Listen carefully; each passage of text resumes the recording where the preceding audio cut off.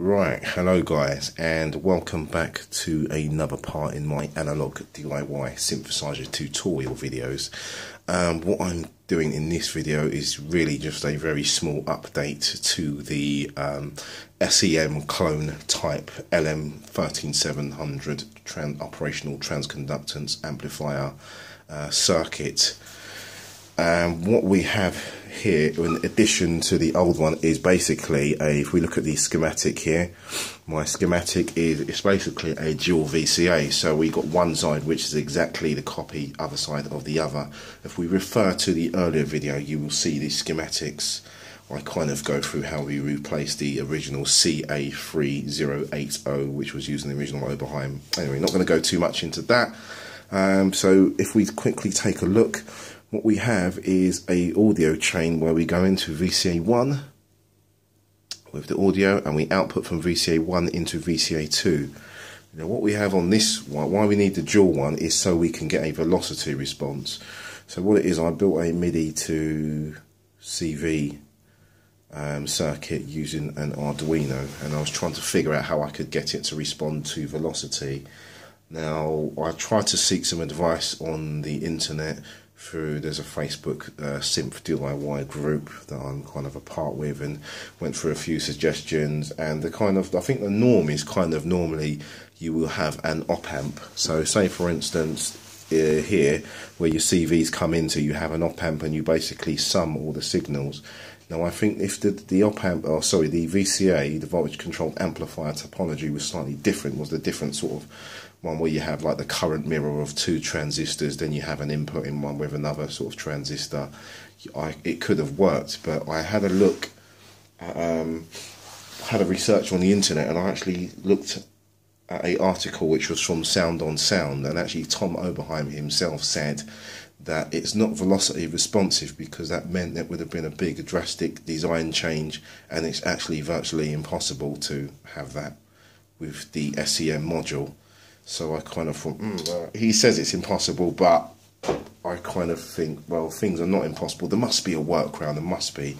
So I had, I kept on searching, and then I looked. Um, I found the thread on a Moog forum, and somebody mentioned using Velocity CV, and said that the way it was implemented is that you you need two VCAs. So I thought, okay, well the LM13700 is a dual channel chip why not use the other side? I've got a spare side. So if we have a look here, you can see this is our first side. And what I have is the incoming velocity control voltage from the MIDI. Now I have a switch here, I'll explain that in a minute. And on this second VCA, we have the envelope, the contour of the volume, which comes in through this uh, PNP transistor to the current control side of the operational transconductance amplifier and so our first VCA is going to control our volume, how loud our signal is going to be overall. And then our second VCA is going to deal with the shape of that um, volume via your the settings on your envelope generator, the control voltage coming in from the envelope generator, shall I say.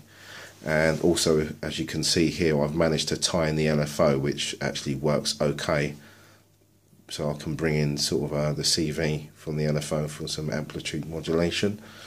Um, so tried this one out and it worked successfully. Managed to tweak the actual. I had to put a trimmer from the Velocity CV in so it responded in accordance to the MIDI data being sent, so I could get it to have a very good response, a noticeable response from zero to 127 value when you sort of like drew that. And even when you hit a, key, a MIDI keyboard, any MIDI key, input keyboard, it works really well.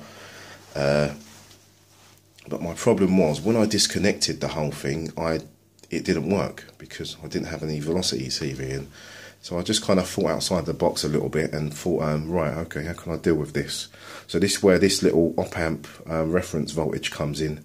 So what you do is basically uh, op amp can use a dual, can use a single, and this these values of these resistors here will probably be slightly different depending on if we can see that's R, R1 and R2 will be will be different depending on your overall um, supply voltage.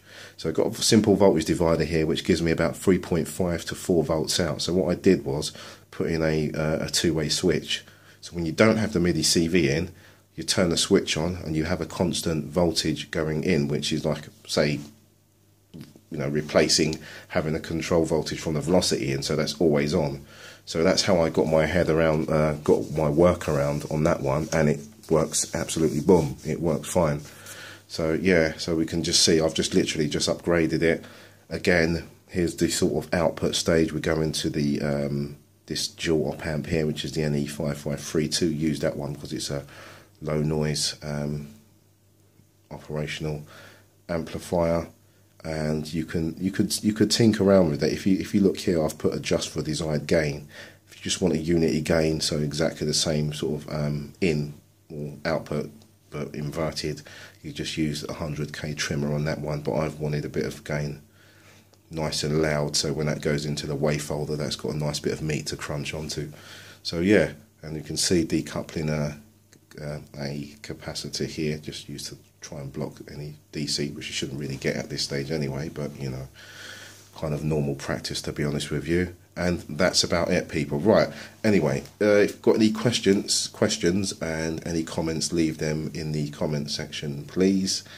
And don't forget to subscribe and like and thanks for everybody for all your support over last year. Hope 2018 I can figure out some more stuff and bring you some more videos. Anyway take it take it nice and easy people and I'll catch you soon